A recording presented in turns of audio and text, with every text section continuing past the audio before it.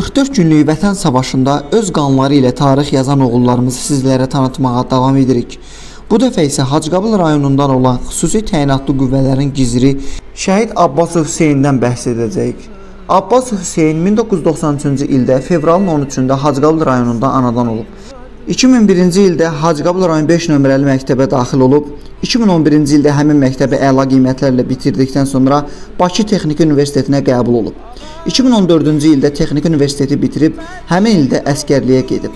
Aprel döyüşlərində iştirak edib və hərbi xidməti bitirdikdən sonra xüsusi təyinatlı qüvvələrdə kəşfiyyat bölüyündə xidmət edib. Şəhidimizin atası deyir ki, oğlu Murovda yüksəkliyinə ilk bayrağı sancıb və oğlu ilə fəxr etdiyini bildirir. Şəhidimizə ölümündən sonra dövlət başçısı İlham Əliyevin müvafiq sərəncamına əsasən vətən uğrunda, Kəlbəcərin azad olunması uğrunda və Suqovşan uğrunda medalları ilə təltif edilib. Biz də şəhidlərimizə Allahdan rəhmət, yaxınlarına isə səbir diləyirik. Mən mən Abbasov Hüseynin Şəhid Abbasov Hüseyin Əlzadoğlu'nun atasıyam. Hüseyin 1993-cü ildə anadan olub. Orta məktəbi əl oxuyub. Çox savadlı uşaq idi. Heç vaxt bizi incitməyib, atanı. Evdə bacılarının, qardaşlarının dayağı olub. Hüseyin Texnik Universitetə girib, Texnik Universitet dəyələ qutarıb. Və hərbi əskəriyə gələndə orada gizir kimi qalıb. Bu əskəriylə də kəşfiyyatçı olub. Aprel döyüşlərində də vuruşub, əskər kimi kəşfiyyatçı. Ondan sonra bu müharibəmizdə kəşfiyyatçı olub, en salih hərbisən xüsusi təminatlarının kəşfiyyat bölümündə xidmət edib. Dəfələrlə Kəlbəcərdə olub, hələ ermənilər bəronun arxasında olub. Bunları mənə o deməyib. Mənə o heç vaxt nə istəyir, nə iş görüb. Mən onun kəşfiyyatçı olmağın şəhid olandan sonra bilmişəm. Həqiqətən, mən bilməmişəm onu. Onun yoldaşları və videolarda var. Bir Murovun ən hündür, Murova 1430 metrə. Bayrağı Hüseyin sancıb. O yoldaşda bir dənə şəhid veriblər orada. Orada bir şəhidləri olub. Necə bir evlad olub? Çox gözəl evlad olub. Çox belə təmkinli, səbirlidir. İşlədiyi sirri heç vaxt deməyib bizə ki, mən nə işləyirəm, nə varıram, nə iş görürəm. Həyat boyu eləncə söhbətlər eləmir. Ancaq mən indi eşitmişəm onun yoldaşlarından və o yoldaşlar da Allah o şəhidlərinə rəhmət eləsin. Yoldaşlarının çoxusu da şəhid olub və sağ qalanlar da onun haqqında danışırlar, onun haqqında videolar var. Mən fəxr edirəm oğlumla ki, bu Çin yoldaşları bunun haqqında, bu qəhrəmanlıqlarından bunu danışıb. Su qoşanda olub, Talış istiqaməti, su qoşan, bunlar hamısında olublar. Bunlar Bunların işi hə, kəşfiyyatçı olublar.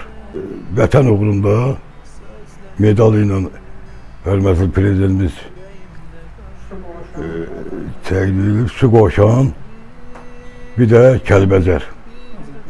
İndi deyirlər yenə də təqdimatı gedib ora yenə də var. İndi gələcək göstərəcək onu hansı medal olacaq. Mən oğlumla fəxr edirəm. Mən dövlətimdən fəxr edirəm. Ona görə ki, bu dövləti oğullar qorumalıdır. Bir dənə təmkinmə verən oğul hər bir ataya, anaya oğul şərəflidir, əzizdir. Onun itkisi bizə çox ağırdır. Ancaq hansı, niyə görə itkisi var mı? Dövlət uğrunda, vətən uğrunda, xalqın uğrunda. Ona görə mən səbirliyəm. Allah prezidentimizə də ömür versin.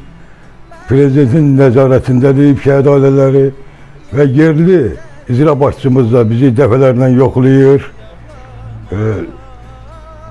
Bütün çatışmayan şeyləri soruşur, nə lazımdır, nə lazımdır. Ha, çox sağ olsunlar. Mən Bağıyeva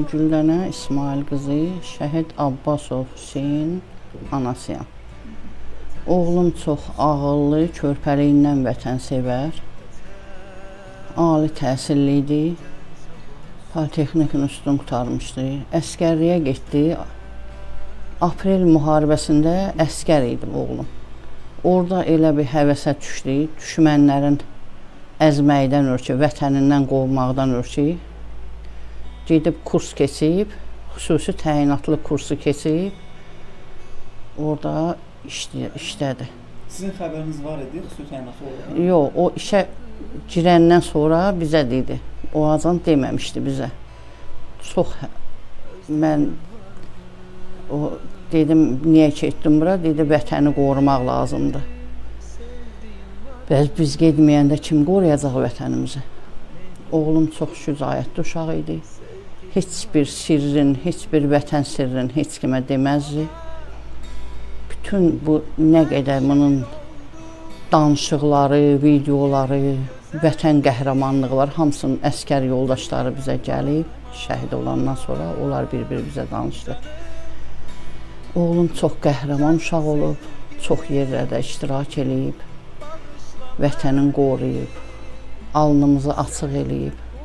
Fəxr eləyirəm oğlumla. Düzdür, anıyam, dözə bilmirəm. Bala itkisi ağırdır. Amma vətənimlə qələbə qələbəli qayıtdığına görə oğlumla fəxr eləyirəm. Allah prezidentimizə ömür versin, vətənimizi qorusun, bayrağımız həmişə uca olsun. Allah şəhidlərimizə rəhmət eləsin, qazilərimizə can sağlığı versin, şəfa versin. Azqabır rayonumuzun ağsaqqallarına, icrasına, orada böyüklərinə, hamısına təşəkkürümüzü bildiririk. Çox həmişə hər bayram, hər məsələ lazım olanda gəlib bizi yoxlayırlar. Yaşat fondu da bizə köməkliyin bir dəfə göstərib, ikinci dəfə də söz veriblər evimizlə əlaqədar, sağ olsunlar. Prezidentimiz, prezidentimiz çox hörmət eləyir şəhid ailələrinə, qazi ailələrinə. Hətta gözümün yaşı axa-axa o müharibə 44 günlük müharibədə televizora baxırdım. Elə ki Əliyev filan yer alındı deyəndə sevindiyimdən gözümün yaşı quruyurdu. Oğlumla fəxr eləyirəm. Ana kimi nə deyə bilərəm? Allah bütün balaları saxlasın, vətənimizi qorusun, prezidentimizi qorusun. Bayrağımız uca olsun. Türk xalqına da öz minnətdarlığımı bildirirəm ki, bizim yanımızda qardaş kimi həmişə arxamızda dayağımız olub. Sağ olsunlar.